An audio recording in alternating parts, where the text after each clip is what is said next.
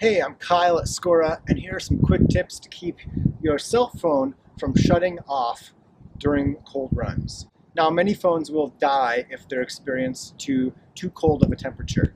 And for runners who often wear an armband, this is problematic because they may use the phone as a GPS device or they may use the phone uh, just as a type of comfort for having a uh, form of communication with them while running. Two tricks I like to use to keep my phone warmer are first to put it in my glove.